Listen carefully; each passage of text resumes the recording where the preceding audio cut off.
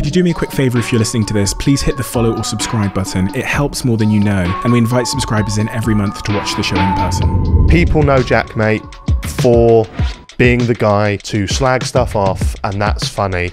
And then when the content dried up, well, I've now got to go and look for someone who's doing something wrong. You can only do that for so long before you just hate yourself. Didn't really get on with my mum. She would do and say things that I don't think any mum should really do. Things would happen at home, and I'd have like a mark on my face, like from someone that shouldn't have given me that mark. I made a video reacting to Zoella's Advent Calendar. Like, that changed the game for me, and the, the upload before that, I was going to quit. I struggle with um, health anxiety and OCD. There's probably 15 to 20 times a day where I actually convince myself that I have cancer. So you're too fearful to go and get a health check done? If I go there and the doctor's like, yeah, you're ill, then that's the end for me. What do you mean that's the end for you?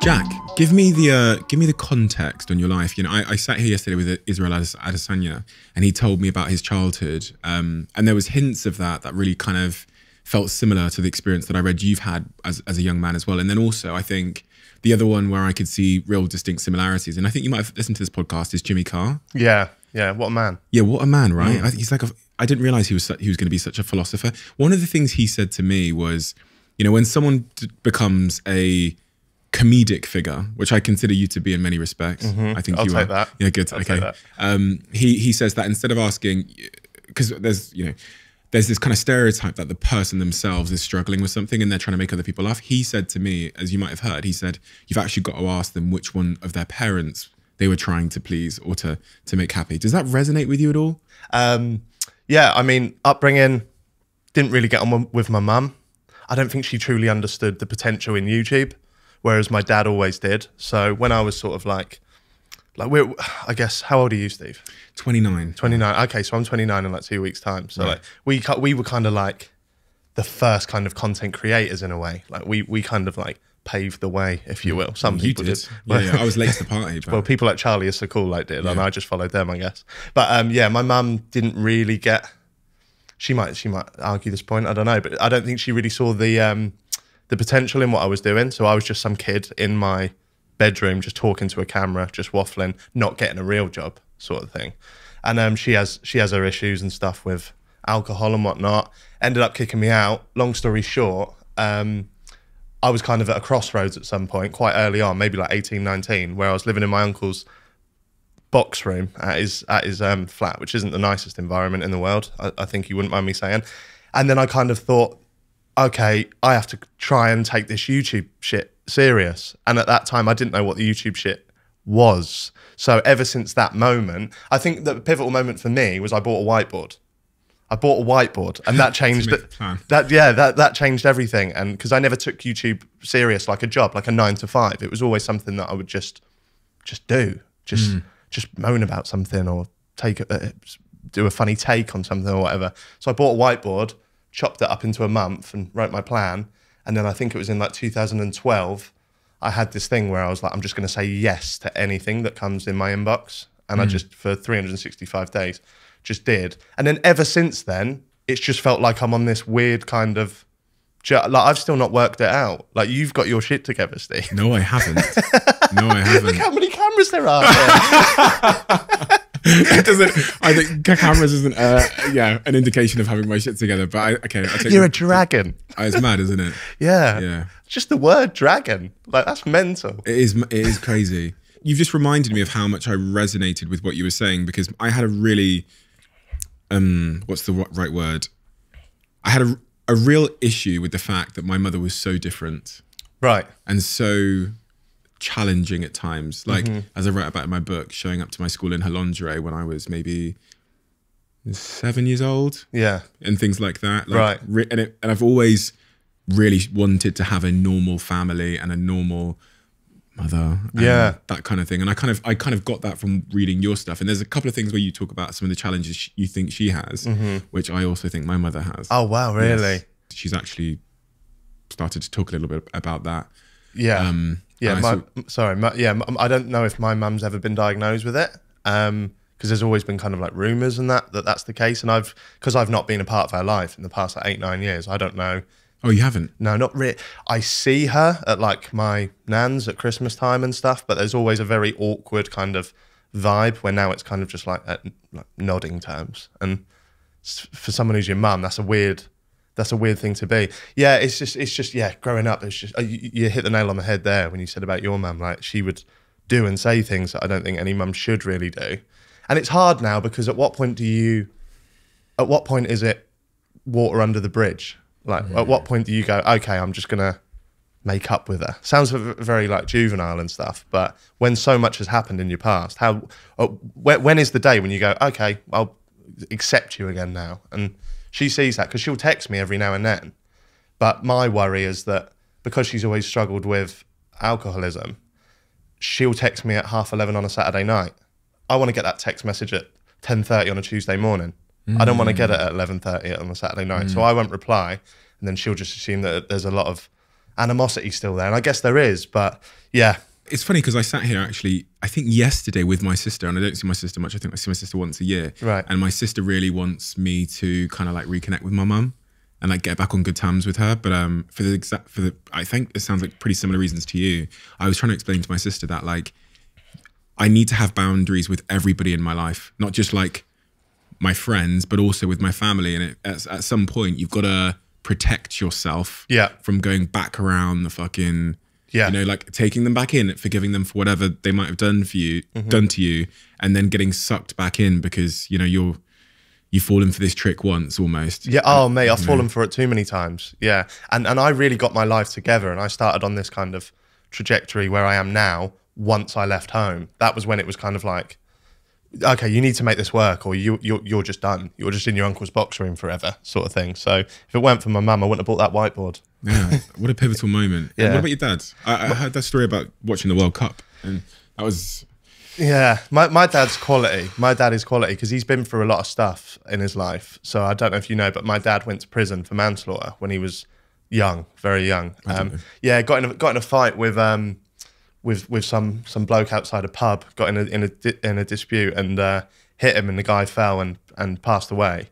And that plagues my dad now because they're just two kids fighting in a in a in a pub car park. Like so, he went to prison he came out and he's just he's just a grafter like that pains him inside he has to live every day with that obviously it's not right what he did but um i'm never i'm never going to say that but he's brought me up with a lot of morals and has taught me if you ever get in any fights like you run away like you don't need to be the big man like like he was. And he's always had my back from day one and he's he's like my best mate. So for example like when I first got my my first YouTube check through, I think it was like sixty dollars was like the threshold that you had to get back in the day, and I think I got paid so it was like forty five quid or something. And um, I, am from a I'm from a council estate, never had any money, and I got that forty five pounds, and instead of giving my mum any money, I just went to Top Man, bought some t-shirts. Like you remember them old sort of t-shirts with the colour. yes, with the little buttons down here. Oh my god, I wanted every color. and it was yeah. like the collar was different color to the top. Yeah, and the buttons were different colours. Yeah. Yeah, and I and I got a couple of those, and um, I was I was in my room, and I remember my mum coming in and having a go and being like,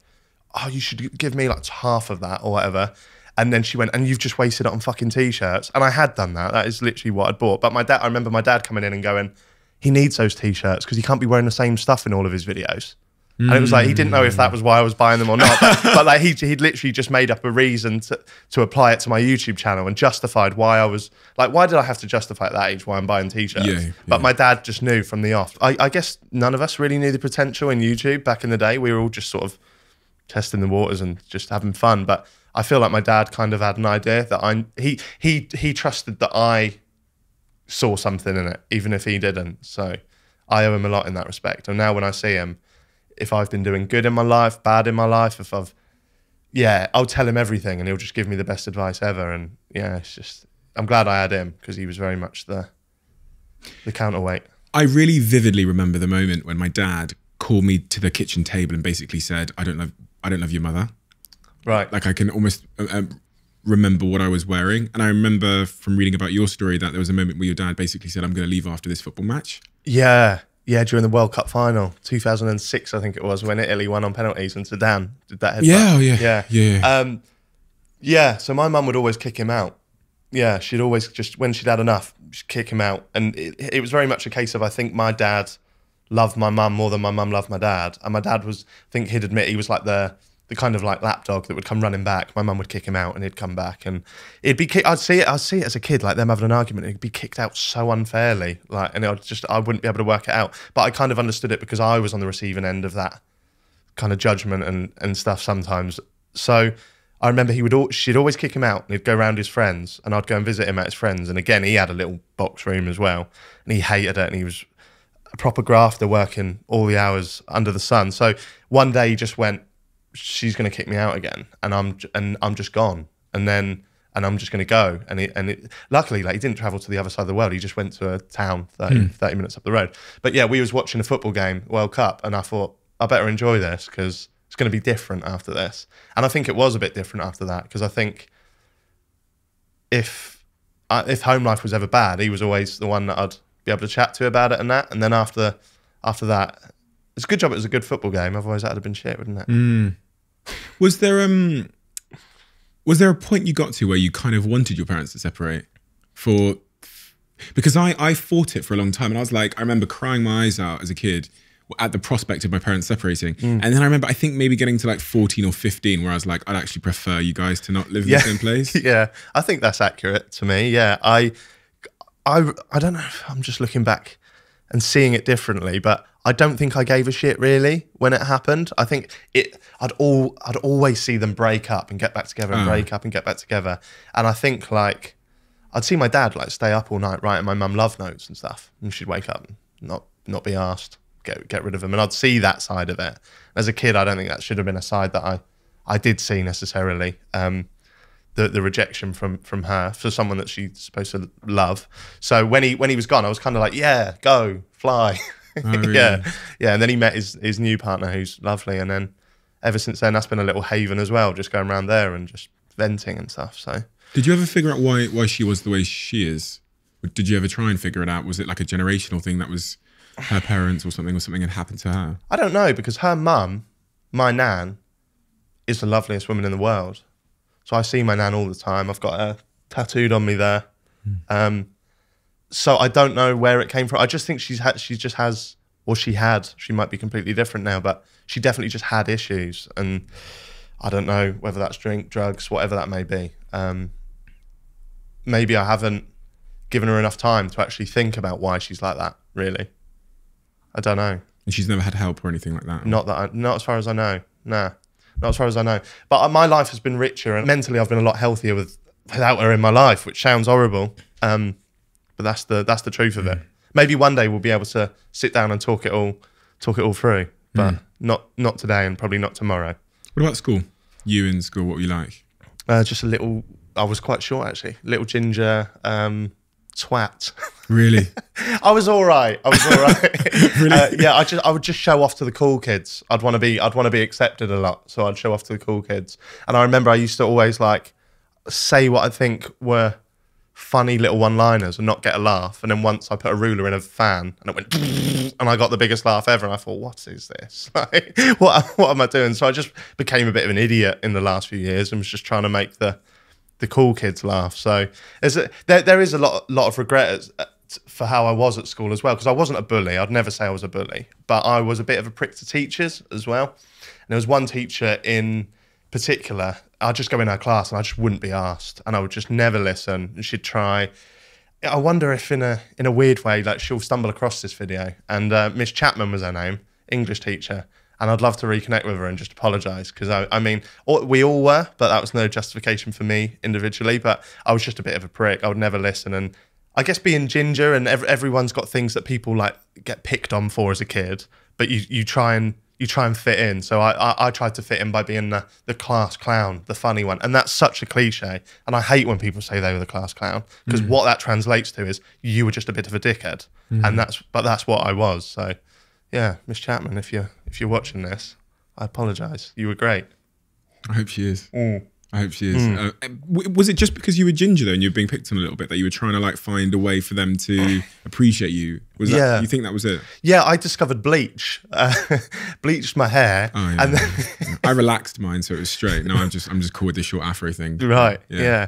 Well, yeah, I yeah I discovered bleach, and then I remember just going to school the next day, like that scene in Bruce Almighty, where I'm like, look, Here you go. birds are lads. flying on me, and I was yeah I was a different person then. Um, yeah, and then and then but then I was predicted all the top grades. Like I was predicted like 12 GCSEs or whatever it was, like top marks in everything, and I just completely fucked it really, and got like five, just scraped it. So um, yeah, I was a bit a bit of an idiot really. I only sort of took life serious after school. When thank God I found YouTube because God knows what I'd be doing if I didn't. Was was there a connection in, in your view when you look back between your home life and your school life? I think because you said it was it year ten or eleven. I can't remember that things kind of went downhill for you. I, I wondered if there was there was a link at what with in your mind of what was going on at home and what you know your school performance decline. Um, I, I, maybe, maybe, maybe I could, I could sort of blame home life, but I, I, I, I probably wouldn't. I'd probably just say it was more a case of wanting to fit in, discovering at an early age I wanted to be the funny one. I've always been the center of attention as well, or wanted to be the center of attention, I should say. So as soon as I discovered, oh, self-deprecating works and putting myself down works, that gets a laugh. I'll do that, and then you're invincible then, because if people are hmm. calling you a ginger twat, if you call yourself a ginger twat before them, Disarming. yeah, now hmm. I've got the cards. yeah. Yeah, so I don't think the home life, the, the home life, my home life affected school probably the early years in, in high school because, like, not to go into too much detail, but like things would happen at home, and I'd have like a mark on my face, like from someone that shouldn't have given me that mark, and I'd go to school and say the cat done it, and I didn't have a cat, so so it's like that. Really, I think that really affected me. There's little things as well, like I remember like I had these ornaments, Snow White and the Seven Dwarfs. No, I don't think I've even seen the film, but I love these ornaments. And then I'd done something at home that was naughty or something, stayed up too late or played the PlayStation too much, and then someone came in and threw the threw the shelf down and smashed those ornaments. And I remember as the shelf was on the floor, I remember go- think I was only a kid. I was probably like ten, right? And the shelf was on the floor. There's a big standing bookshelf, and I was. I, I remember thinking, please, please, don't say those ornaments are broke. i love them for some reason, and I remember lifting it up, and they were all broke. And that was the moment where I was kind of like, I fucking hate this shit. So I remember going to school and having to deal with stuff like that. Um, but in the, in the later years, when I kind of had YouTube and found my feet a little bit more and who I wanted to be, I found it a bit easier, even if I was pissing the grades up the wall, so to speak. Do you ever worry? Because I, I, something I, as I've gotten older, I think as we get older, sometimes the like, some of the earlier things we learned about love or relationships or how you treat people or how you respond or your temper, they they can sometimes um, surface. And you, because I'd have moments where I'd see parts of my parents and myself that I maybe didn't love.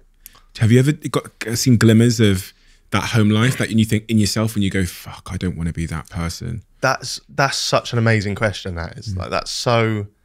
That me, me and my sister have discussed this as well because I have, I have, because I because I separated from my mum, so to speak, at quite an, quite an early age, just after after school. I think I've lost all of tho- her her traits that I had in me because they were such negatives to me. I really noticed them. Like her biggest negatives, like stood out like a sore thumb. So I actively had to not take them on myself. Um, whereas my sister, she had a, she had quite a few of her ne- her my mum's negative um, traits, and we've spoken about this now as adults. And she's like, "Yeah, I have to actively like whenever I think like mum would think or do something mum would do, have to try and get rid of it." I have a lot of my I give my dad all the credit. I have so a, a lot of how I am is because of my dad, but I also have my dad's negative traits as well, which I think he would say. And and my dad, not so much now, but especially after what I told you about his upbringing, he, he- anger was his thing. So and I have I have that. Not luckily, I have it under control. It's never going to affect anyone else or hurt anyone else. But like for example, if I'm editing and the software shuts down, I'm like fuck. Like I'm re- like instantly, I'm so angry inside. And Fiona will have to be like, Jack, just chill the fuck out. Like this isn't that deep. And then I'm like, okay, as long as I remember where I got this from and what if I can pinpoint it on something, I'm a lot I'm a lot better. Um, luckily that's never got me in, into any trouble. If, if I'm out and someone says anything to me, I, I don't get that. I get it through over trivial th- sort of Right, like right, right. trivial things.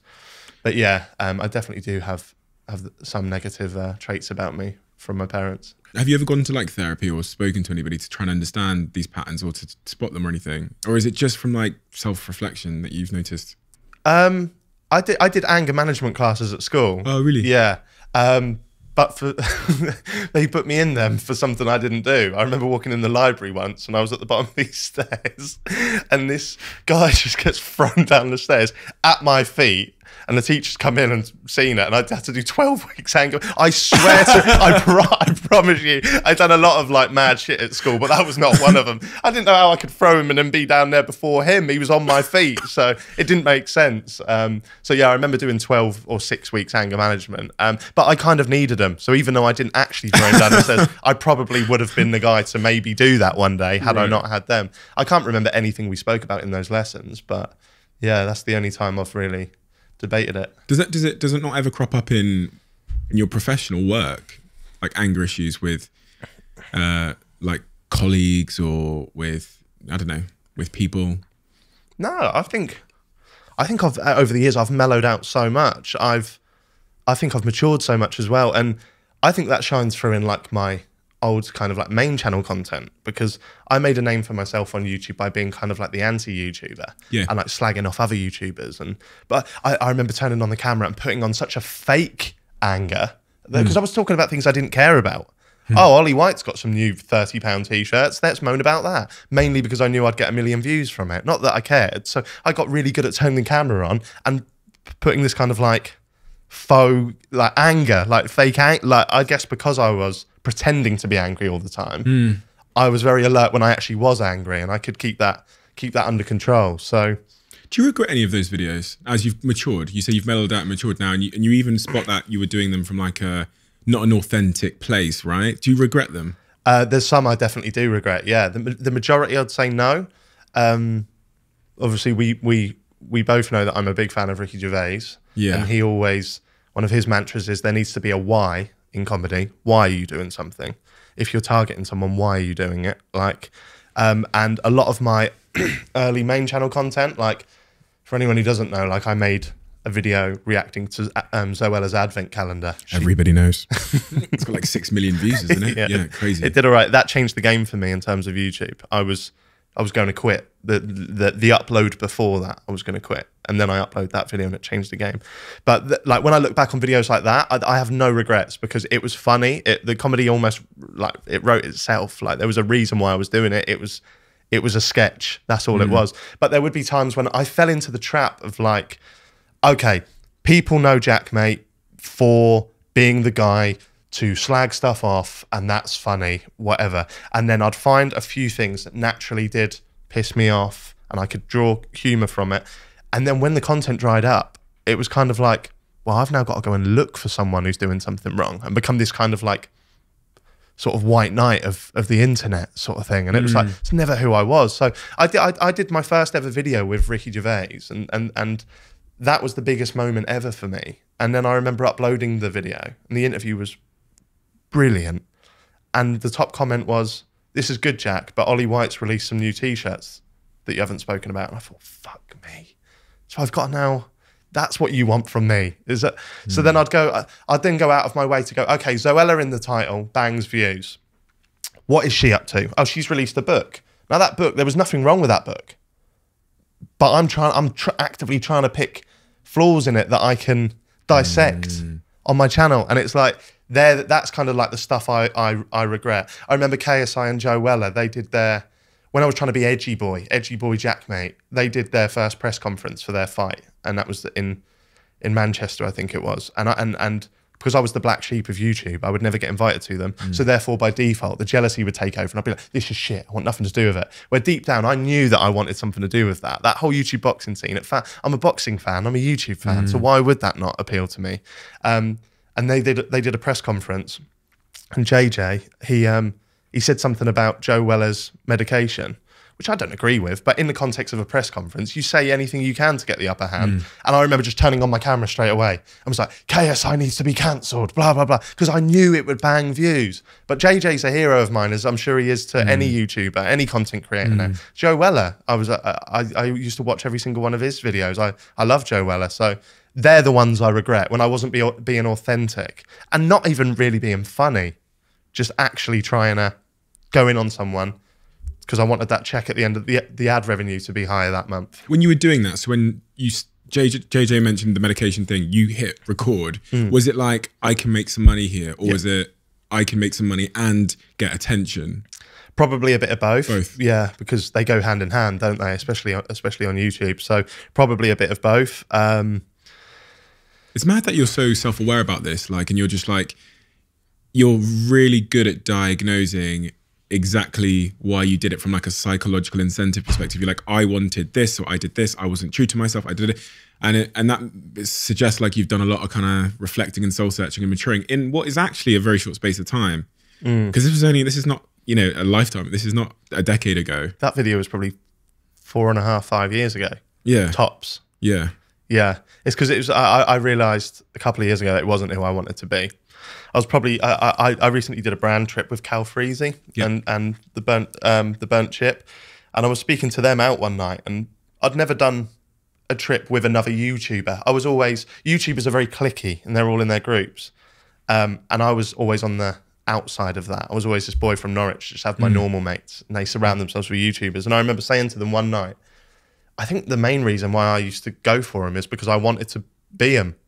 I, I, I'm I'm one of the OGs. I really am. I've been doing YouTube for, probably around to the the same month that JJ uploaded his first one. Like we would have been there at the start, and Cal Freezy, Callux, all of these lads, uh, Miniminter, and I and I probably I see them become a collective, and I was like, why am I not part of that? Like, and now I don't give a shit. I'm so happy and content with where I'm at, and I've built my podcast now. And but but as a as a kid, as a even as an 18, 19 year old young man grow, growing up, seeing that, feeling left out, it probably goes back to how I was at school as well. I thought, okay, if if if you if you can't join them, slag them off, become the Darth Vader of YouTube, so to speak.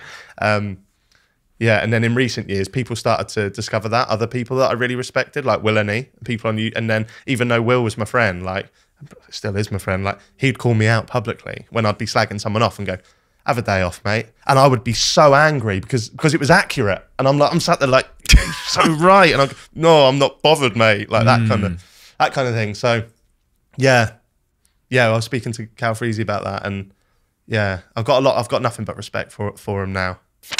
My girlfriend came upstairs yesterday when I was having a shower and she said to me that she tried the Huel protein shake, which lives on my fridge over there. And she said it's amazing. Low calories, you get your 20 odd grams of protein, you get your 26 vitamins and minerals, and it's nutritionally complete. In the protein space, there's lots of things, but it's hard to find something that is nice, especially when consumed just with water, and that is nutritionally complete and that has about 100 gr- calories in total, while also giving you your 20 grams of protein. If you haven't tried the Huel protein product, do give it a try. The salted caramel one, if you put some ice cubes in it and you put it in a blender and you try it, is as good as pretty much any milkshake on the market, just mixed with water. It's been a game changer for me because I'm trying to drop my calorie intake and I'm trying to be a little bit more healthy with my diet. So this is where Huel fits in my life. Thank you, Huel, for making a product that I actually like. The salted caramel is my favorite. I've got the banana one here, which is the one my girlfriend likes, but for me, salted caramel is the one. You not only did the whole YouTube thing, but you also provided this like online commentary almost constantly about how you were feeling about it. So you're one of the, the sort of rare YouTubers that like in real time would say, I've lost motivation for this. I'm going to try and find my motivation for this. I've lost motivation for doing this kind of thing. I'm doing it. You know what I mean? And you were very open. So even for me, I as I logged into Twitter, I could kind of see where you are on this journey. And obviously, I've seen that change a lot with the, the whole podcast and the Spotify thing, which feels like you really found something that you do find like really enjoyable. But with your main channel, I watch you go through these waves of enjoyment, and then uh, seeing you say, "Right, I'm going to try and commit to it now," and then that didn't really work, and then. So tell me about that journey with YouTube and, and what you learned about yourself from that. Oh God, it's really good questions. It's got to be hmm. said. Like, wait till Well, you come no. on my podcast Well, no, and no, I ask you your favorite I, I- sandwich. I, genuinely have watched it, and, I, and it's, this is why I kept trying to, you know, message you like, come on hmm. my podcast hmm. because that watching that journey taught me so many things, and it really reconfirmed a lot about for me that I'd been reading about in psychology about what keeps people motivated, and when they're not doing things that are in line with who they are, or where they're doing it for a check. I remember reading this study which said if you love doing something and then they pay you to do the exact same thing, you lose your motivation. So the minute it goes from being a hobby I'm doing for the love of it to a hobby that I love doing, but now someone is paying me for, there's this weird thing that happens in the mind where people lose motivation for the exact same thing. Go, go, going off that, and I'm not sure if this answers your question, but I found this really interesting. I couldn't really work it out myself. I spent my whole YouTube kind of main channel era like just saving up all my money, just saving up all my money. Like the only thing I was, I had the blinkers on. I was like, buy a house, buy a house, buy a house, buy a house. And last May, I paid for my house and bought it outright. Wow. And that was the last time, bar one. That was the last time I uploaded. Really? Yeah, yeah. It, it was like it's called arrival fallacy, I think. Yeah, yeah. And Tyson yeah. Fury has ha, had it about um, when he beat Klitschko and became the heavyweight champion of the world. The next day he was depressed. Israel Adesanya sat there yesterday and said the same thing. Really? He said the day after I won the UFC title, I went to my uh, hotel room. I was depressed. Yeah. I said it last night on stage at the Palladium. I said 80% of Olympians, when they get the gold medal, they they report depressive symptoms. Yeah, it was the most proud proudest I've ever been over anything, and paid paid it off. And then me and my partner Fiona, we we moved in in September, and I just I remember just I was drunk one night, and I remember just walking around my house when Fiona was asleep, and I just I just didn't care for the for where I was. Like it's a beautiful house, and I'm so lucky, and it's everything I'd worked for. But it was like, what do I do now then? Like, what do I? Where like what? I'll sit on my sofa or go in go in my kitchen. Like I just know, I'm not any happier than when I was renting or. Like it, it was it was it was weird. So Have you figured out why you felt that way? No, I know. I, uh, nah, I don't know. I don't know. It's it's because it's because the journey is way more fun than Amen. yeah than than than the arrival. That it, it just it just is. The, uh, the the most fun I've ever had is probably the first time I got a viral video, or the first time I got to present for this company, or hmm. first time I got a brand deal. Do all the stereotypical YouTuber things. The first time I hmm. felt like a YouTuber. They they're the best moments, and it. I, I- I'm not I'm not complaining. I'm not sitting here and whining, and I'm so blessed and so lucky, and yeah, it's, it is a it is a tough one. It's a tough one. But like I did, my my kind of like soundbite that I always sort of say is I did YouTube for seven years without earning a penny, hmm. and then it, and then once the Zoella video kicked off and the ad revenue went up and I earned money I would never I could never dream of earning, that that was no more fun than when I was doing it for for free. And it's funny because the, the I guess the, the liberating thing to know is that everyone I've sat here with says the same thing. So mm. it's not a you thing, it's a mm. human thing. And so you go, okay, if it's a human thing, what does that mean and why is that? One of the things, because I was writing my show for the Palladium, I I encountered was that the reason why we're here is because our ancestors struggled forward. And their desire to keep striving is the reason they built these empires and overcame. So I say to the crowd, I say, is it conceivable that they left a message within our genetic code that says, you too shall struggle forward and they've kind of like predisposed us to like forward motion. And also this other point like the our ancestors our ancestors that had a, a, a real sense of what really liked forward motion struggle and purpose were the ones that survived and passed on their genes to us. So we're, we've we've inherited this real desire to have forward motion and a sense of purpose. And one of the things they say is causing the life expectancy to decline in the Western world is specifically they, they, they point at men and say there's a epidemic of purposelessness as the world is starting to change and AI and things like this are I'm pointing at the little robot that's moving moving around the room on, its own, are taking purpose from people, and so people are now becoming more addicted and depressed, and therefore their suicide has become the single killer, biggest killer of men under the age of 45, which has caused the life expectancy to decline for two years in a row.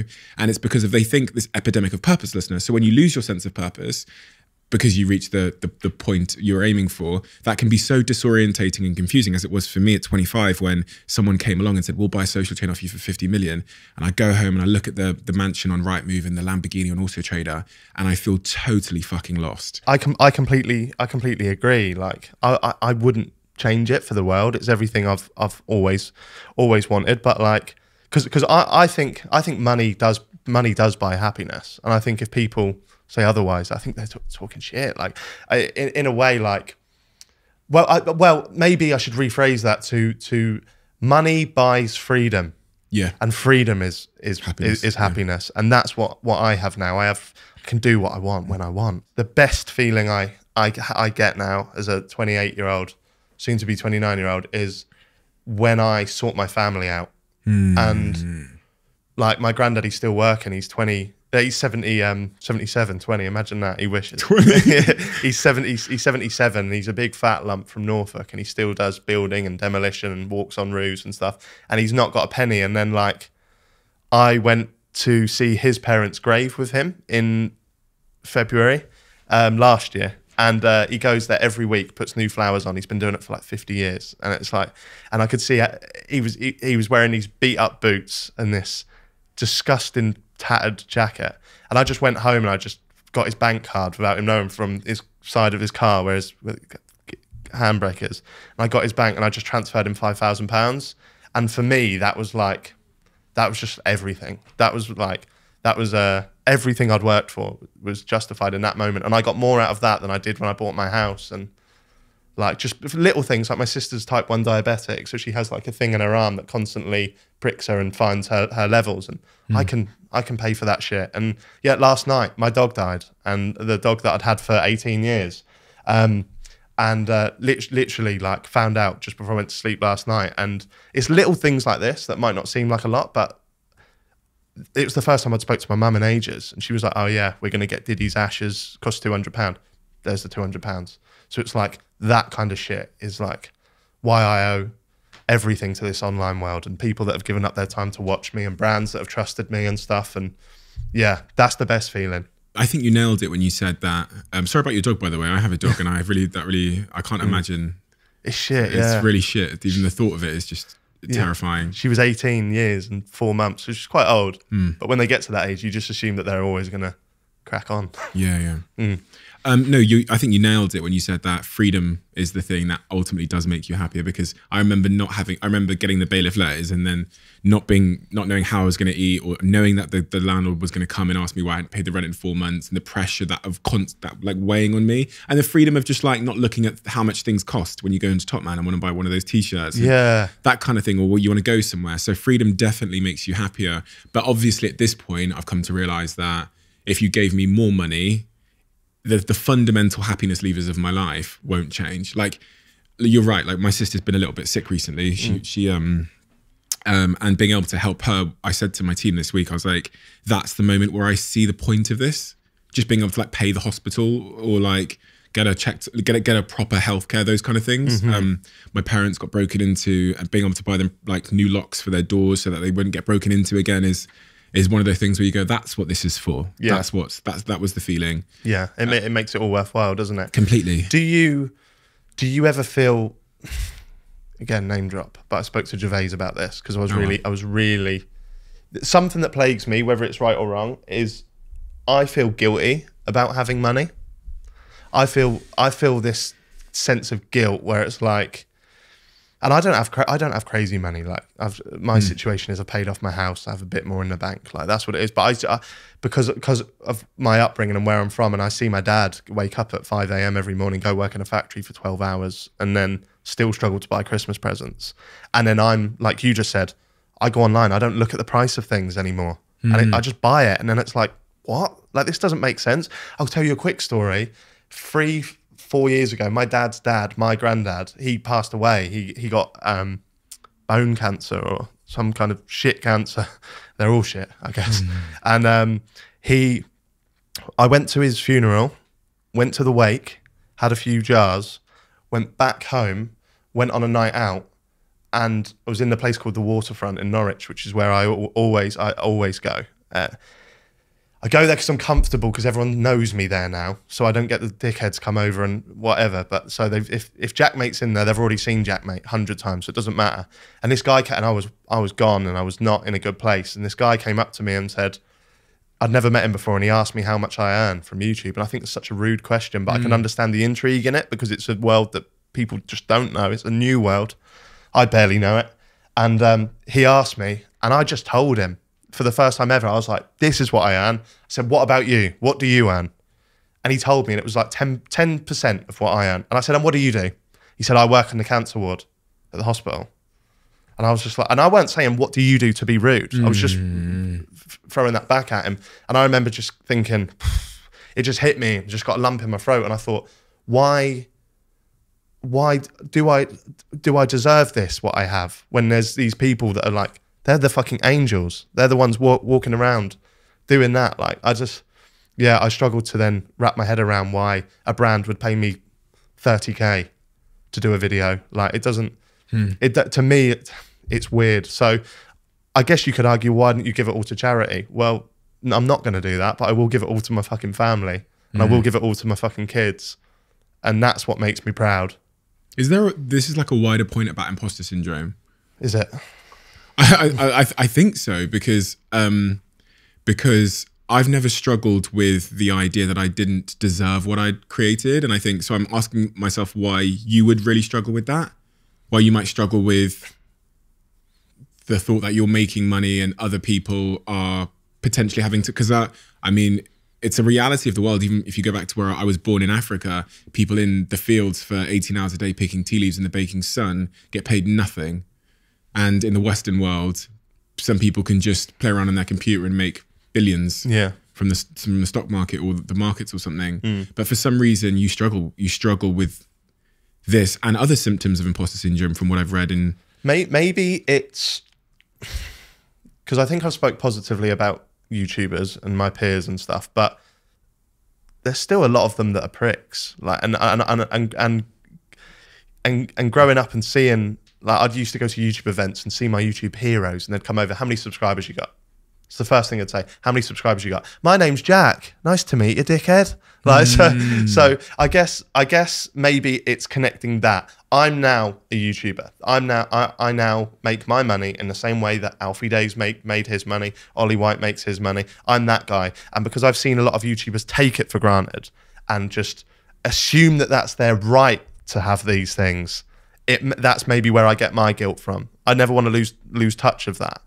And and you really come from a working class like household where you've watched your dad work really, really hard, and everyone around you, it sounds like, work really, really hard wherever you've looked. And it's almost like you found a bit of a cheat code, or you know, yeah, it might feel like life has given you, I don't know, but you've you earned it. I mean, you bought the whiteboard, yeah, right? This Yeah. was intentional. yeah, The Yeah. whiteboard shows that you you know you planned it out. Mm. Obviously, moments of luck for all of us appear when we we start we carry on carrying on, but you realize that you've earned it, right? yeah. You did. You hesitated. you don't, do you? I, I, I do, and I, I, but not to the level in which I've got to now. Not to like, yeah. I get. I, I, I guess. I guess. I, I, I have. I have. I have a talent. I can do. I'm a personable person. I can hmm. Make people laugh. But yeah, I don't. I, I don't know. I, I don't. I really don't know how to answer it. I get. I've thought about it a lot. I've racked my brains a lot about this. What does your brain say to you when you rack your brain? don't know. It's just maybe, maybe, maybe, maybe I don't. But then, like, it's it's it's cool things like this. Like Stevie White, my my podcast co-host, was working in boots. Nothing wrong with that. It's a respectable job. Um, just a nine to five. He didn't particularly enjoy it. Um, so I call him up one day and say, "Let's do a podcast." A year later, he's interviewing Ricky Gervais, Johnny Knoxville, Rob Brydon. and he's left his job. He's doing it full time. Fiona, my partner, she was working at a supermarket. I was telling her for years, bin it off. I'll teach you how to edit. You become my editor. A couple of years go by, she bins it off. She's now working for me. There's a few examples of people in my life that can now have an easier life hmm. because of the foundations that I put in seven years ago. Hmm. That's that's what I love, and that's when I'm like, I I I des- I deserve this, and the people around me deserve it. Does that make sense? Of course it does. Once again, you said that like the most fulfilling thing for you is helping others, right? Mm. You said that about your family with your Yeah. money, and now also for professionally, it's like giving those people opportunities to live a better life. Yeah, we're just a fucking team. Yeah. We're just a team. They help me as well. It's not just me going, look, I can help you do mm. this. I showed them that there's a there's a different world out there because people like us, we've been in this world for so long. We've seen the opportunities, but they probably didn't. So yeah, I wouldn't be able to do what I do without tho- that that kind of the the team in the in the background or sometimes in the foreground with people like Stevie. But yeah, um, that's a fucking cool feeling. Everybody, um, everybody. It sounds like it feels like everybody that's not a YouTuber, and I say everybody because there's going to be people listening that are driving up and down the country right now as they're listening to this, or you know, doing the dishes, whatever, and perfectly happy with whatever they're doing. But a lot of young people want to be YouTubers, and the thought that you had this like big main channel with like how many subs has your main channel got now? It's like 1.4 or something. Yeah, point four mil. Yeah. yeah um th- that you would like lose motivation to do it Mm. is quite a difficult concept to understand for a lot of people you have 1.4 million people that have subscribed to get videos from you and you're like can't be asked Yeah, it's not so much can't be asked. It's just it's not me. It's just it's just not me anymore. It's people. I, I'd open up my inbox and people would be emailing me about some YouTuber from France who has sold a pen for a bit too much money, and I need to be the guy that calls them out. And it was just like I was never I was never really this guy. So yeah, I, I guess I guess I just transferred all that energy that I was putting into the main channel into the podcast, and that's where my passion is now. And doing stuff like this, getting hmm. to sit here, chat to you, and yeah, that's I, I, I get what you mean. Like, if you'd have asked me two years ago, oh, am I just going to leave a channel with 1.4 million subscribers stagnant? I would. I'd call you all the names under the sun. I'd be like, you're an, you're an idiot. Of course, I'm not going to do that. But it seems that I have done it. I'll use it every now and then. Like in January, I uploaded a video about Boris Johnson. And I saw a dope video Thank saw it all over the newspapers really really cool video Thank you. like creatively culturally relevant it really like hit and it was fast Mm. you were very quick to act on that moment so it was uh that I guess I guess for you probably is that how you, you're seeing the use of your YouTube your main channel now like when you genuinely feel you want to do something yeah, yeah Yeah, when like wh- when the the why is there, when there's a clear and obvious why, I'll I'll, I'll do it, um, and not just for a quick buck. Now I'm very thankful I don't need to do them anymore. it's hard to sustain something when it's not in line with who you truly are. Yeah. it? It's hard to like sustain it for a long period of time. In the short term, you could probably do it, but it tends to be the case when I see it with people that at any point in their lives where they were living outside of themselves, like living someone else's life, or kind of like eh, Fearne Cotton said it, like she had to like go on radio and be this happy da da da da da, and um, almost play a character. Jake Humphrey said it to me as well, like because he was a presenter, having to kind of like put on the mask. Eventually, it becomes a really heavy mask to, to Yeah. wear, and they all of eventually it seems kind of choose to throw it away and just rebound, and that seems similar to what you're saying. Hundred percent. Yeah, I, I I told this story last night to someone. I can't remember. I I used to turn the camera on. And I used to go. I'd be sat there and I'd turn the camera on. I'd go. Right, guys. Hello, it's me, Jack, mate. Oh, Zoella. Oh, what a dickhead. Oh, she's done this, done that. Turn the camera off. Just sit there, and I couldn't tell you anything I'd just said in the last twenty minutes. I'm just looking down at my script. She said this in her book about how out of touch is it, and it would just be like, right, that's the ad revenue sorted for the month. Fee, let's go to Wetherspoons. Yeah. So it was like you can you can only do that for so long before you just hate yourself. there is an element of that in me, like that that that the advent calendar video. I've done some videos I'm really proud of, funny videos when when it was when it was justified. But there's also ones it's not so much. I've been doing recent sort of commentary videos over the last two years. My my recent ones are like videos I've been doing with my friend Alfie Indra, who's a mu- musician. And we've been like sort of taking kind of comical pokes at people like um, Jeremy Lynch from the F2 and people yeah. like that. And and I sta- People think I'm Jeremy Lynch all the time. Oh fucking time. really? You do You don't want to be you don't want to be that guy. you can be Billy, be the other one. He seems all right. But um but the thing with those videos, I'm really proud of them still. And I guess you could argue, well, you're that same kind of like scathing um commentator. Yeah, but they I I believe that th- those people I'm going for there are justified. Zoella, not so much. Let her crack on. You know? What would you say to her if she was? Have you ever met her? Never met her. I don't think she wants to meet me. That'd be an awkward one, wouldn't it? Is there like, is there any? because that video did really well. Yeah. And I think if a video about me had gotten six million views, um, I think I'd have a pretty shitty month. I was going to say week, but I think it lasts longer because that video did really, really well. Mm. I remember like sometimes someone will write like an article about me and I try and be this tough guy. I'm like, I don't give a fuck, whatever, whatever. Mm-hmm. But I'm still at like 1 a.m. in the morning. It'll like, it, it's hard to get it out of my mind. Mm-hmm. So I think if a video had got 6 million views about me criticizing something I'd done, Yeah. it'd probably been quite hard to take mentally. Yeah. Do you ever, does, has that ever like crossed your mind? Like ever? Yeah. I'm not saying what you did was wrong because I watched the video and I actually thought it was really funny. So it's like, was there comedic merit in someone that's super successful selling a advent calendar of that n- nature for that price? Yes, I understand it. Like when you talk about the wine, the Gervais like philosophy, I get it. But does has that crossed your mind as well? Yeah, yeah. Um, like that's just another reason why I stopped doing it. Um, it it's hard to. For, for, I'm not articulate enough to describe how I feel about it, but yeah, the the calendar video was funny. There was a clear error on her behalf, and I just ultimately I.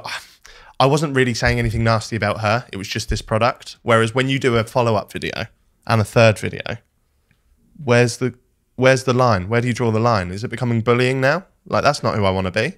I want to be a comedian. So so that I definitely as I've gotten older, and I guess maybe I was immature for a long time. I should have realized this at a way earlier age than I did. But you do start to consider others. Um, and, and I'm the same as you, mate. I'll read a comment about me on Twitter and I will clap back and I still go back to them now. And Fee's there going, what are you doing? And I'm like, fuck him. Like, I just like, that's a bit of my dad as well. Like, and I'll just, I'll, sp- I'll spend hours arguing with football Twitter.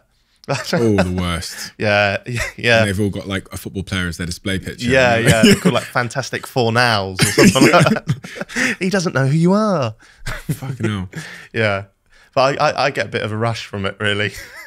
I, I, I, I worry sometimes because I say to myself, I'm trying to reply to a troll to try and disprove their point or because it's fun or whatever. But I Mm. think sometimes it's because it's like hit me in the ego. yeah. And I don't want to admit to myself that that person's actually pissed me off. Yeah. So I kind of use the guise of no, it's funny, or like no, like to to justify it to everyone else. Like I'm not bothered, but you know what I mean. Like I really, I really, you know, the internet is not a good place to be if you haven't got control over that because you'll get dragged around by trolls with egg emoji accounts. Like yeah, Yeah, I, I, I, I, like I said, Fee's always telling me not, don't shit. I'll be in bed like that, hungover or whatever, Sunday morning going on, mm. and Fee will be like, just leave it.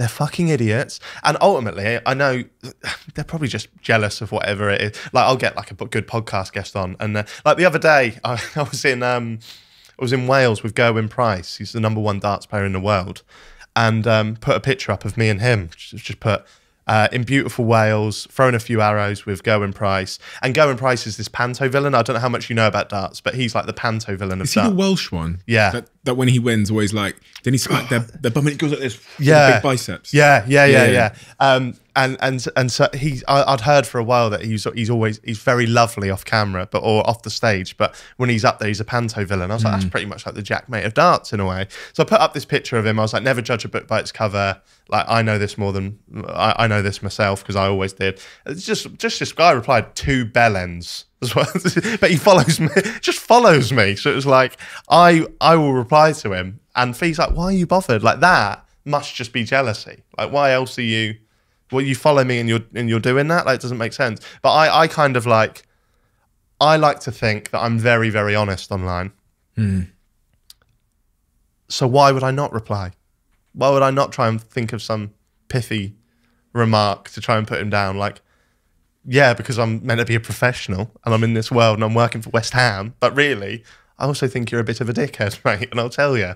Do you think that because you are very like, um, I imagine if like Boris Johnson and like I don't know another politician uploaded a fit photo, you'd probably quote retweet it and say two bellends. So like, do you think there's a chance? Because I I don't think anyone would ever tweet me that. Like if I, do you think there's a because you've cultivated a younger male audience that are comedic and they're like they use kind of kind of colloquialistic, funny language like bellends Yeah. you, you're also now at the mercy of them attacking you with the same language in that situation. I'm just wondering why no one would ever tweet me if I t- uploaded a photo and go two bellends. I just, my audience just don't speak like that. Wait till this episode goes out. Yeah, the comment. top comment is two pellets. yeah.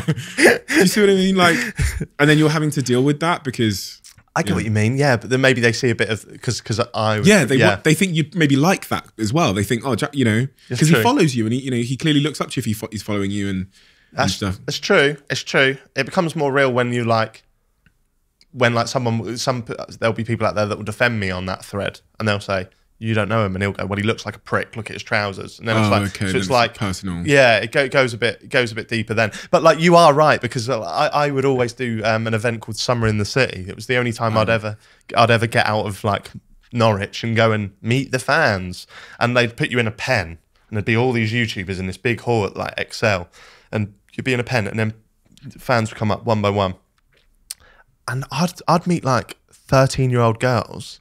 You might want to bleep this, I don't know, but they'd come up to me and go, "All right, you can't," and I'd be like, "What have you just said?" And then, but then because that's what I'm doing online, all right, you fucking dickhead. But they're there to meet me, and they want their thing signed, so they like me, but they think.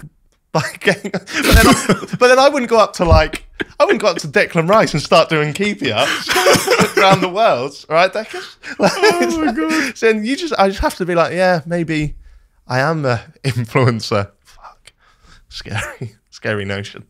No one's ever said that to me in a meet and greet. Um, that's so. It's really interesting. And do you, there's an element of your, your. Do you think there's an element of your childhood in that, in in the sense of like being triggered a little bit by what people are saying or cr- the criticisms that you know triggers you maybe. Because I, I definitely, I'm thinking about myself. I definitely wouldn't sit in bed replying, especially now I'm on the BBC. Like BBC One, it's a bit prestigious in it. I can't really Yeah, be popping off too much. yeah. Well, yeah, probably. I probably shouldn't be either. Do you do, you- do you want to be the type of person that doesn't? No, yeah, but I can't, Steve. I can't. Like, I'll, I'll, I'll reply to them, and then and then Fee will be like, delete them, and then I, and then I, I'll be like, no, not going to. And then in an hour, it's like. It's like a come down. I'm like, all right, now I'll delete them. And then, and then in an hour later, someone else has said something. What do you mean? I'm so immature on Twitter. It's on. It's a joke. There's a real risk there of being like pulled around emotionally though by the external world, right? Yeah, I've deleted. I've I've deleted Twitter off my phone a few times. Um, yeah, we went. I went out for a dinner with Max Fosh, and um, I told him about. He was he questioned it. He was like, "Why do you always go back at these idiots?" I'm like, "Oh, I just find it funny, or they just get to me." And I deleted Twitter off my phone, and he was like. I I said I'm going to do it for the whole weekend, and he was like, "I guarantee that you'll you'll re-download that by the end of the meal." And I had, I did, and I was scrolling there looking through it. So when football Twitter say we're in your head, mate, nine times out of ten you are in my head, but I'll try and get back in yours. Do you not think it would be a happier life just to fucking like? Hundred percent, yeah, yeah. But I guess I get bored. Is it that? That's just the ego. yeah, Quick one. As many of you know, I've been trying to make my life a little bit more sustainable as it relates to energy ever since I sold my Range Rover Sport and bought an electric bicycle. And myenergi, as a sponsor of this podcast, are one of the brands that make that transition much, much easier. They are at the forefront of British renewable eco-smart technology, and their products are really, really changing the game. If you're on YouTube, you can see what I'm holding in my hand. This is called the eddi, right? It's the UK's number one solar power diverter. So, what is a solar diverter? It's a device for people like you and me that means you can divert your excess energy back into your home rather than back into the grid, which will save you power and money. It's super user friendly and easy to install, and you can control it using the myenergi app on your phone. To find out more about this product and more products like it that will help you make that sustainable transition, head over to myenergi.com and um, I highly recommend you check out that eddi. It's um it's a real game changer of a product and one that I'm going to be installing in my home soon. Happy hour. So this was a really pivotal moment for you. Where, where did that start? Why did you decide to start doing long, long form podcasts instead of the the other types of videos you were making before? I've I- I've always wanted to interview people. At college, ten years ago, I, I studied interview techniques. Really? my, my granddad was the first person I interviewed. He came in and I interviewed him about the war and all that kind of stuff. And I always wanted to do it. And then in 2017, I had a podcast with my friend Tom Norris. Um, done done all right, uh, but it was just too much too too much um, we were doing it at the YouTube space and we'd rock up sometimes and they didn't have the cameras in and that. So it fell by the wayside. But then uh, 2018, I wanted to do another podcast. I said to Fee, I said, who should I do it with? Because I always knew I wanted to do it with your every man. So not a YouTuber, because that's not. I'm not a YouTuber that's been friends with YouTubers. I'm a YouTuber that's friends with my mates in Norwich. I'll do the best video ever with the big celebrity. Come back to Norwich and they'll just go, yeah, we didn't watch it, mate. Not bothered. And I'll just be in the pub, and that'll be everything I need to keep me grounded. Yeah, yeah. So I, so she she suggested Stevie White, who's um just a just a mate that lived in Bristol, and uh, I called him up and said, "Do you want to do a podcast?" And he said, "Why?" I said, "Good point." good, good point. And then we, and we ended up giving it a go. I started doing it with a guy called ImAlex, who's a, who's a YouTuber that was very um, a comment. He was a commentary YouTuber, so he was calling out people. He would do the cookie cutter templates of like X, Y, and Z needs to be cancelled. X, Y, and Z needs to be cancelled. And he was doing that all the time. So originally, my show was a YouTube drama show to call people out. To be an extension of what I was doing on the main channel, and then after about five or six episodes, I thought this is just poisonous, and I don't. It's not me. Why am I trying to do it in a different format? So we dropped that and started getting guests on and interviewing people, and I found the love of YouTube again, which I'd which I'd lost for a few years. Was there like a pivotal moment in Happy Hour where you thought, "Fuck, this is going to be"? Was it? It wasn't the Spotify did it? It must have come sooner than that, right? Where you thought, "This is we've got something here." Yeah. Um, again, it was probably getting Gervais on. Oh god, he I was- remember that day. He he was in our first like three guests. Nice. and and I'm so grateful that he gave me a chance years ago because I would I, I genuinely believe I would have none of this if it wasn't for him giving me a shot, and I built up a connection with him years ago. So he then, when I needed someone big to come on the podcast, he would step in. And you know what it's like? You get one through the door. Other people almost then don't judge the show based on me. They'll judge it based on who who else is sat in that seat. Yeah. So, so I owe, I, I owe a lot to him. So that was probably a defining moment. And testament to Stevie as well, because I've been doing this for 10, 12 years. I've been around people like Gervais. I've been very lucky, very fortunate. And I remember how nervous I was the first time I sat on the sofa with him. The first time I filmed with him was the most nervous I've ever been for anything in my life. And then Stevie White has come literally seemingly out of boots the day before. And then he sat there with Ricky and he's just just gets it. He's just on and he's just the glue. And I was like, I've chosen the right person here, like to do this this journey with. And then the money side of things. So eventually you, you get approached by Spotify and they, they offer you um, a contract or a deal, exclu- exclusive deal to do. And I remember watching your video announcing that. Yeah. And you were very, very honest.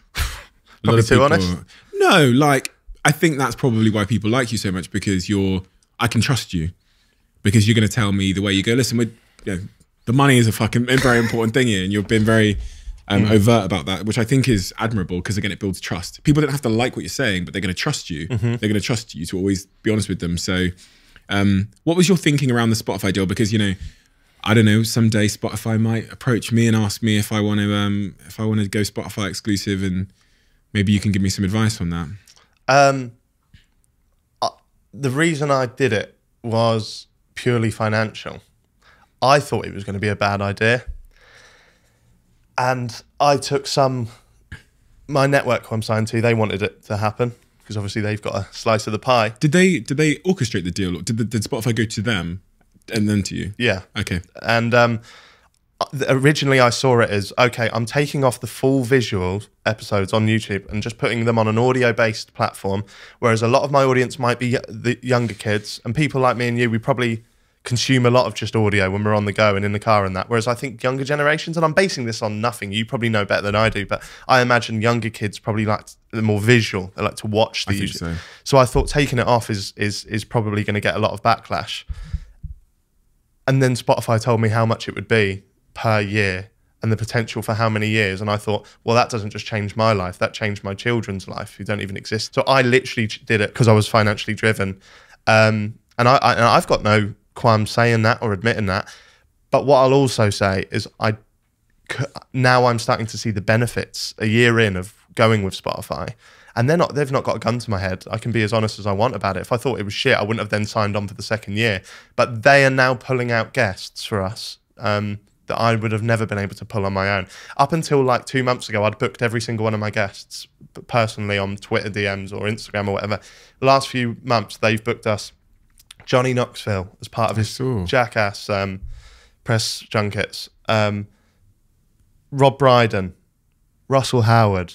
Um, we've got talks of some big, the biggest movie stars in the world because of Spotify. So, as somebody who has always wanted to sit down with the most interesting people in the world and pick their brains, they've offered, they've allowed me that. So, uh, and they've also said that I can get the full video on Spotify if I want. And the only reason I'm not doing that is for a few things behind the scenes that I need to.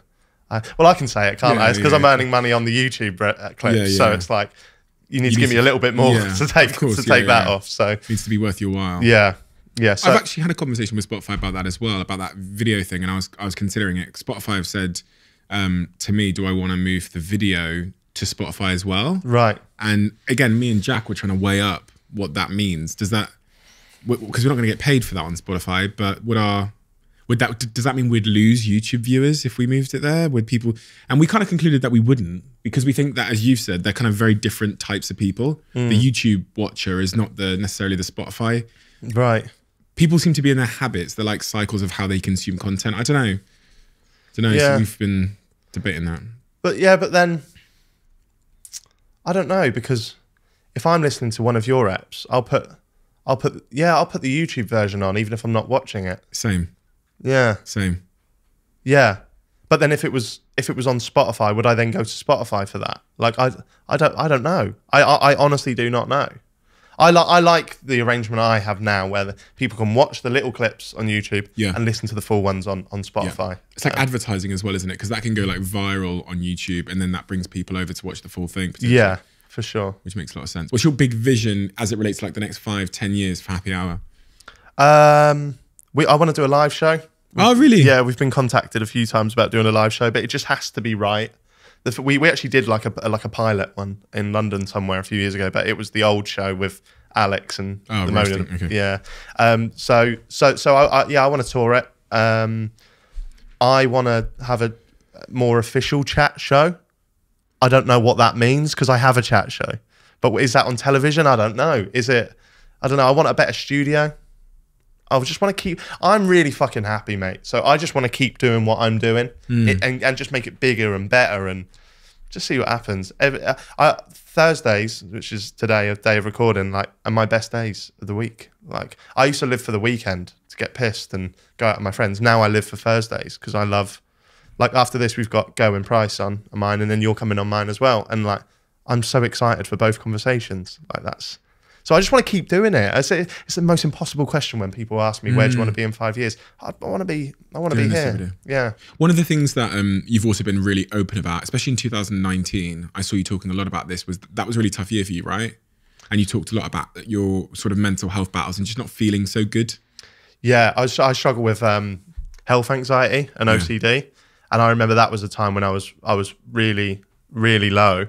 Um, and again, I think I've touched on it a few times, but probably going out a bit too much and doing stuff I shouldn't have been doing, and and that, that it goes hand in hand, isn't it? You feel shit because the OCD's consuming you, so you go out to get pissed up to have a break, but then the next day it's anxiety or whatever they call it now is um, twice as bad. So yeah, tw- 2019 I think was really when that started to get really bad, and I still have it now. Um, it's never going to go away, but it's a really weird, really weird thing to to deal with.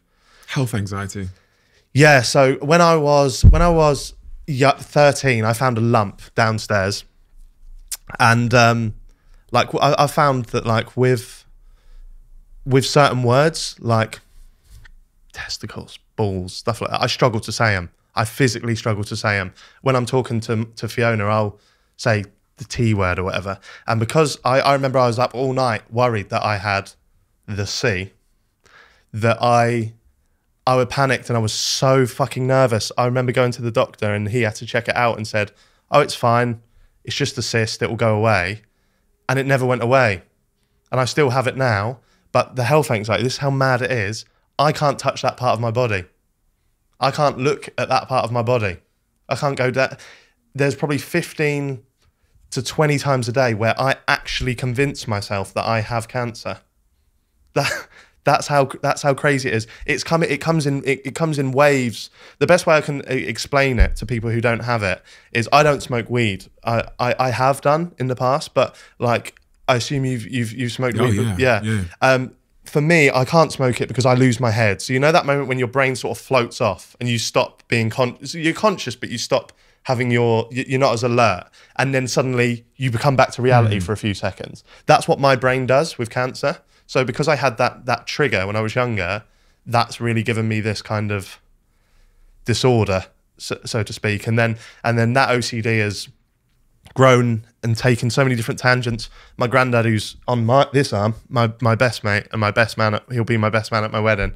He um he got ill with septicemia when I was like 14, and I got home and my mum had told me that he was in the hospital. And I remember I went and saw him, went home. I had a picture of him, and he was holding me when I was a baby on my wall. And I my lucky number's 13, and I kissed it 13 times. And then a couple of days later, he got better. So that fucking triggered me. And then it, and then I could not go to sleep without kissing it 13 times. I've never been a religious guy. I've, I've actively always spoken about my atheism, probably because I was trying to be a BTEC Ricky Gervais. But they are my beliefs still now, or lack of. And I made up a prayer in my head. And I, it, it, I, and I, I knew it, it was like, it's, it's embarrassing to say it out loud, but it was like, dear God, please look after my mum, dad, nan, granddad, sister, and then I'd name them all, and then I, I'd have to say it three times. And even though I wasn't saying it out loud, if I tripped over a word, even thinking it, like I thought of the wrong word in the wrong order, I'd have to go back and do it again. I went to have a sleepover around my friends, and then halfway through the night, realised, fuck, I haven't kissed that photo of my granddad, so I have to go home. Like that's how how mad it is. And now, luckily, with the numbers and the patterns and the sort of more the sort of more known about aspects of OCD, if you will, um, the more documented parts of it. I don't necessarily have those. I obsess over time and sunsets and sunrise, which is weird. But the cancer thing is something that really consumes my life. And if anyone, if, if there's an advert come on for cancer research, I have to shoot up and turn it off, and it's it's alarm bells in my head, ding ding ding ding ding. To- yeah, there's been a few times during this this chat where my brain's gone off, and it's like, oh, s- things like oh if you you need to write a will or oh how's what people what's going to happen to the channel when you die? Like eh, all the little things yeah it's a weird it's a it's a strange thing. But i spoke about this with joe weller on my podcast and i've had hundreds of people dm me on instagram saying they have a similar thing. And although i don't reply to all of them i try and get my way through as many as i can. It's deep that isn't it Yeah, it, but you know, on one hand, it was because it's it's it's not a world. I'm thank I'm thankful it's not a world that I that I know. But I was sat there thinking, oh my god, then you can't be the only one mm. that's going through that. And I and it's so amazing that you're so honest about that because it, there'll be people listening to this right now that go, that is me. Mm. And I'm that the concept of health anxiety seems so alien to me. But 15 times a day, you said thinking about cancer or death or mortality. And it's not the prospect of you might have it. It's my brain telling me I do have it. There's no other outcome. It will be I'll be chatting to you now, and then it for a minute my head will be going, oh, remember you've got.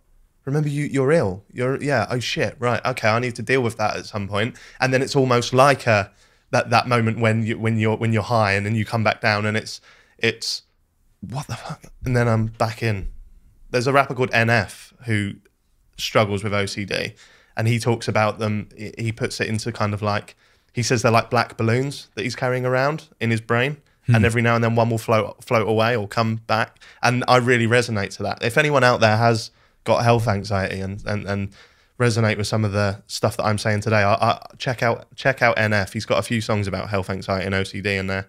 It's pretty um, it's pretty it's, they're pretty good. They're pretty accurate. How does someone go about um, overcoming these things or curing them? Is it therapy? Is there is there other resources that they can seek? I have I've never been able to do therapy in terms of because I because I don't truly know if I'm ill or not. Um, I can't bring myself to get walk through the doctor's door because if he if I get that confirmation, I melt down. I probably fucking do something silly. Like I don't know. Like so, I don't want that confirmation. So I'm the worst person to answer that because I would actively encourage people to go and if they have a worry, like go and get a lump checked out. Of course, why would you not? Or or if you have if you know you have this health anxiety, OCD, whatever mental disorder it may be, I would actively encourage people to go and talk to someone, whether that be therapy or whatever. But I can't do it, so I can't practice what I preach. My friend Liz, she bought me an OCD workbook, and I go through that every now and then and answer the questions and write things and yeah. So it's a hard one for me to answer because I'm I wouldn't I wouldn't be able to practice what I what I actually preach. So you're you're too fearful to go and get a health check done. Yeah, I couldn't do it. I couldn't do it. It's like shop shutters come down in my brain like that because if I go there and the doctor's like, "Yeah, you're ill," then that's the end for me. There's no recovery process. That's it. And that's a mental thing. I know that's not the right thing. Fiona gets upset when she hears that, but I can't. Maybe it will change when I have kids. What do you mean that's the end for you? I can't live with knowing I'm ill. So even because I've I've I've put so much time and effort into believing it myself, my little breaks now are when I'm like, actually, no, I'm fine, I'm fine. If I ever got that confirmation, I would I would shut down. I would, but it's that's why it's a disorder. That's why it's not right. It's weird. Living with living with those thoughts is um is not an easy thing to do. Have no. you found yourself and I, my business partner, you know, you've met Dominic McGregor, even mm-hmm. used to mm-hmm. work with him. He went through a number of struggles, which he's been very open about, and he turned to alcohol as a way to kind of like self-medicate. Mm-hmm. And I remember coming downstairs when we lived at the Mickledore. Don't know if you ever came to the Mickledore. Yeah, yeah, yeah uh, in Manchester and finding him in, in, the early hours of the morning just drinking with the lights off at like 3 a.m. Yeah. And then thinking like, oh, this guy's just a pisshead, whatever. Mm. Finding out years later that he had like some severe anxiety, suicidal ideation. He used to stand on the train station, he said, and considered, you know, jumping in front of the train and stuff. Mm-hmm. Did you ever find yourself medicating to try and escape some of these thoughts or realities you were living? Yeah, I still do it now.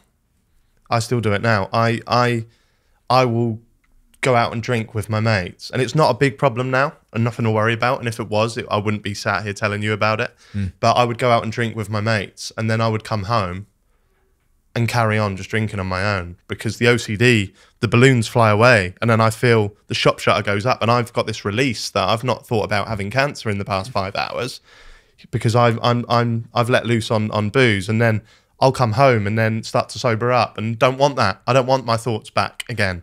So I will sit there and I will drink more, and it will get to six in the morning, and the sun. That's why I, I, I obsess over sunrise as well because I because I just yeah it's just it's just a tough one. I can't.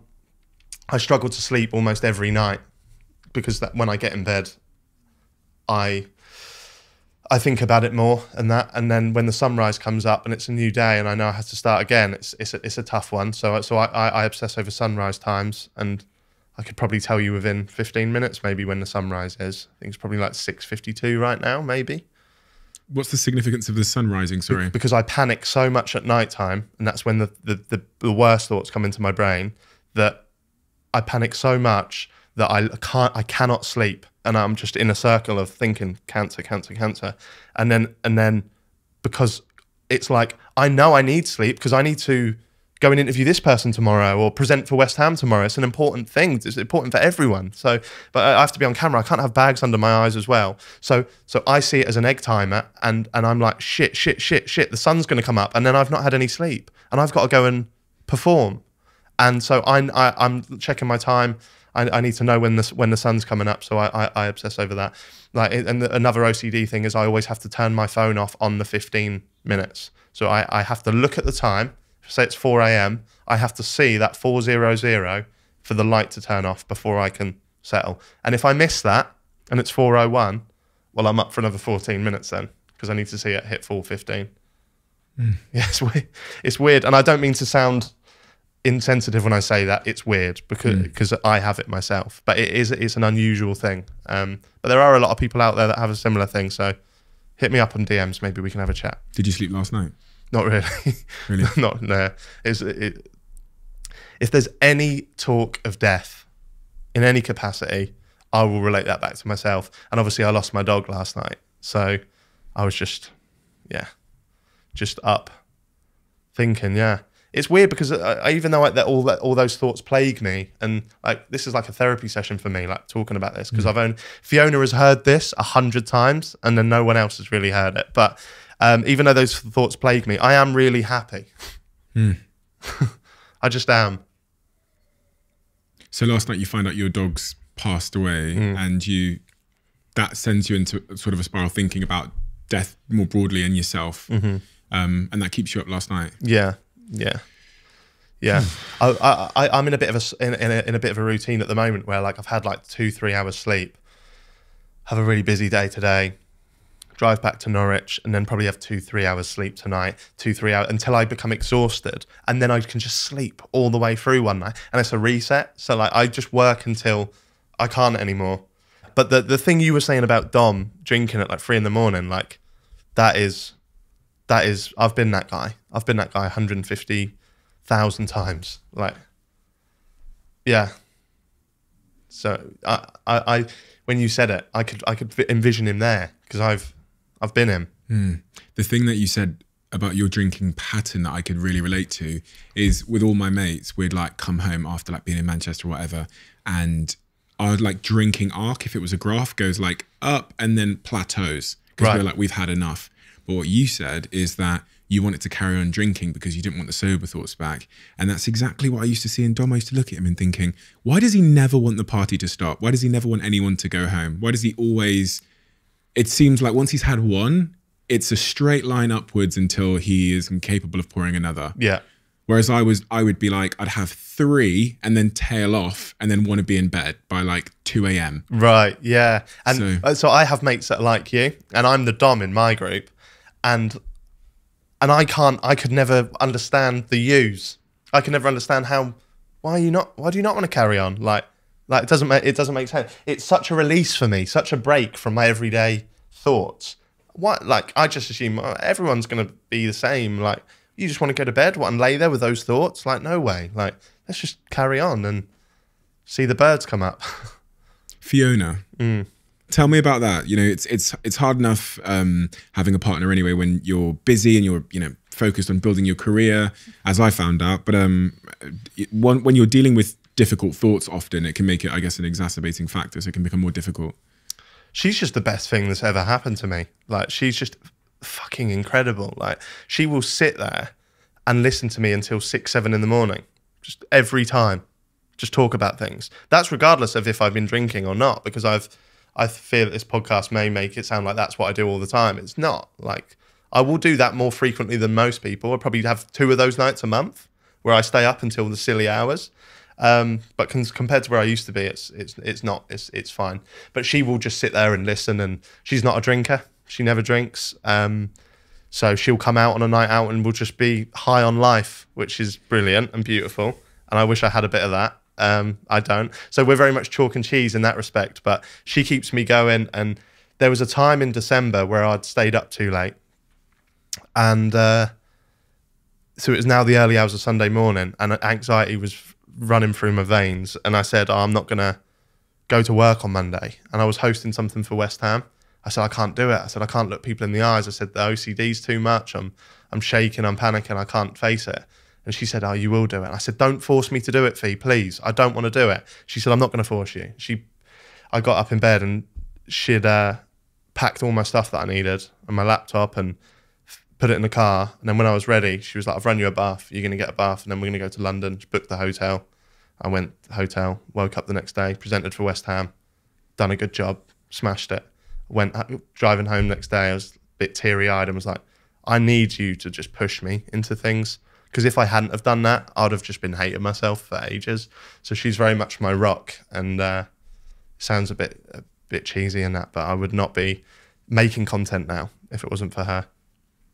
What an amazing person. She's fucking beautiful, mate. Yeah, she's yeah, she's incredible. She's incredible. Some of the advice she gives me and stuff, it's like, and when I met her, she was having bad panic attacks, and I didn't know panic attacks were a thing.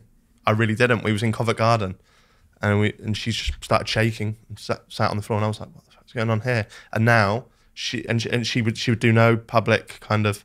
If I was doing any public event, she didn't want to be there. She didn't want to be whatever. And now it's completely flipped. I've brought her into my world, whether she wanted to or not. She's been a mm. byproduct of me for so long, and now I'm a byproduct of her. And mm. she's she's my backbone and she's she's got all of her anxiety seemingly under control i'm sure she'd tell me if not and she doesn't have panic attacks and now i'm that guy and mm. she's so yeah shout to fiona shout to fiona hero hmm. Mm. It's so lovely to hear you talk with such um, admiration about her as well, because guys can sometimes they either avoid talking about their partners or they're they're a bit too tough to like give them the credit for the supporting role they play. Mm. But I, I think the same way with my girlfriend, who's actually upstairs now, who's been a real rock for me and a real stabilizing force, and really like helped me focus on what actually matters in life. Is like really, I think with my girlfriend, she's probably I don't know if she's even through the curtain and she can hear me, but she doesn't particularly care about what I've achieved. Doesn't seem to care at all when I if I like if I made if I made loads of money. It's more about the other things, Mm-hmm. like in terms of being connected to my family and being a good human being. Yeah. those are the kind of things she drives me on. But um, Fee's the same, yeah. is So- she? Yeah, like me and my my family. If I go around my nan's on Christmas Day, we're all like, we get. Like, I, lo- I love my family, of course I do. But we'll watch TV, the Christmas specials, Mm. whatever's on. We'll go around Fiona's house. Her family never turn the TV on for the for three or four days over the Christmas period. They sit there and they talk and they love each other and they embrace each other. And for me, it's I'm like, this is weird. Like this is old fashioned. Like, hmm. Old school values. yeah, but she Smells like that. She just she's she's just so full of love, and she just yeah she just brings everyone closer. She she walks into a room, she brightens it. So You want to be a dad someday? Jeez, yeah, I do. Why, why was that question difficult? I don't know. I don't. I'm I'm I'm. I, we me and Fia have spoken about it a lot because I'm 29 now. Soon in two weeks, so I'm getting. I feel like I have to, kind of soon. Um, you have to kind of soon. yeah, I have to have a kid soon, surely. Like I don't, Says who? I don't want to be what this. I don't want to be a dad that's like sixty when they're like twenty. So like, I don't want to be. I don't. I can't have a kid when I'm forty. Then. But do you want to have a kid? Yeah, I do want to have a kid. I'd be a great. ki- I'd I'd be a great dad. But ideally not soon. Yeah, I said when I was early twenties. I said by the time I'm 25, mm-hmm. and then when I was 25, I said by the time I'm 27, and then now I'm saying by the time I'm 30. Mm-hmm. But I've got just under 13 months, so I don't think that's going to happen. Uh, and Fiona's just had a, um, her sister's just had a baby, so Fiona's just become an auntie, and we mm. love the little baby, of course we do. But oh, it's hard work, mm. and I can give it back when I'm done. Does it feel a bit scary for a lot of uh, people? It's, it's quite a scary prospect. For me, it's a little bit of a scary prospect too because I think, what am I going to have to sacrifice to? I don't want to sacrifice anything. We have yeah. to sacrifice something to find time, right? And Sure. And you're you- very career driven. yes, Yeah. I, I just sort of run about from place to place, Hmm. talking to people on a camera. Like, I could have a kid and Fee could stay at home and edit, but Hmm.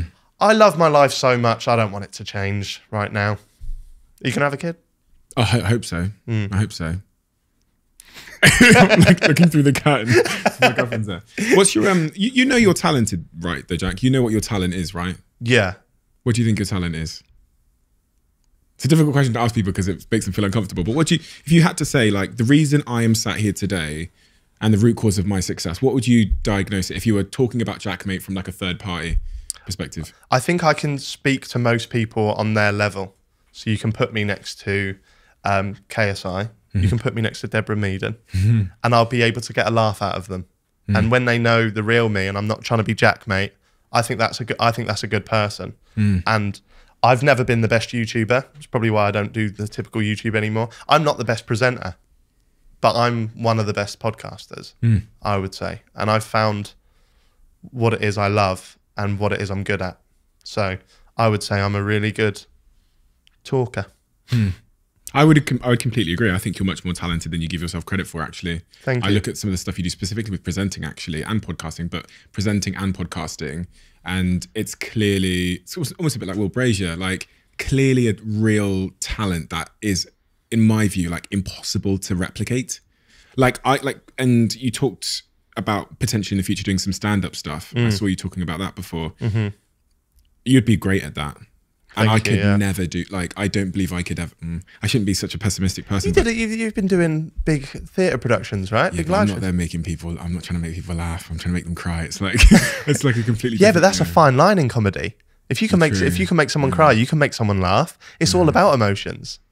That's what it's all Yeah. about. Do you know what it is? It's like the labels we give ourselves, and I've never labeled myself as like a funny person. I've never told myself that I can make people laugh, whereas you do that. You do that very eh, almost like effortlessly. And I think, to be honest, I think you've been practicing since you were a kid, as you've said. So I did um I did two shows um opening up for Max Fosh Hmm. in November and they were the best moments ever. of your life, Yeah. and that that was stand up. Yeah, yeah.